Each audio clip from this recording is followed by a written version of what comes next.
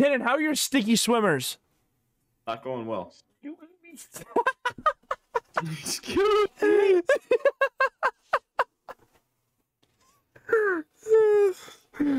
Uh, I really like Team Conquer. Tannen, can I be one of your sticky swimmers?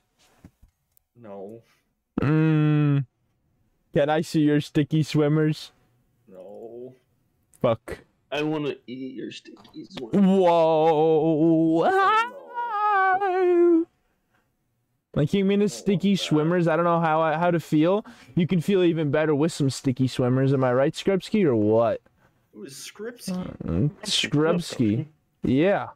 Come on now. You don't know. This feels interesting when you rub it. Especially when my butt's there. He keeps talking. Somebody needs to put me down.